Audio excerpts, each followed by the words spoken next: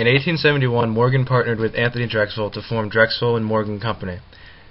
After Drexel, after Drexel died, the banking firm was renamed J.P. Morgan and Company.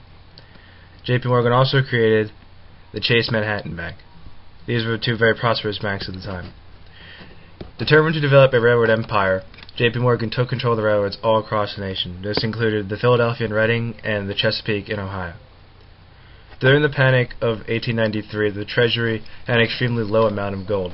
To combat this, Grover, Ke Grover Cleveland struck a deal with Morgan.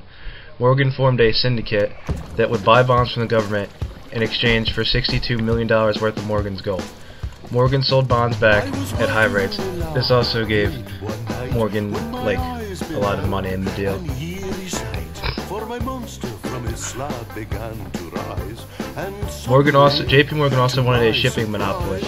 Morgan was scheduled to be on the Titanic, but unfortunately he canceled the day before due to business.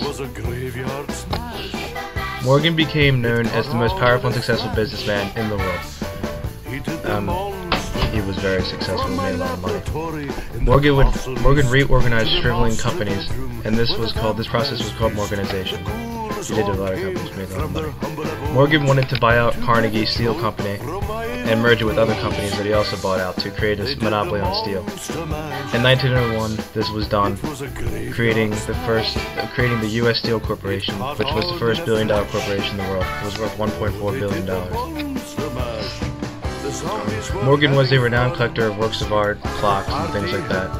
And he, when he died, he gave them to the library and some national museum. Um, Morgan died in 1913 at the age of 75, unfortunately. Yeah, that's baying hounds. The coffin bangers were about to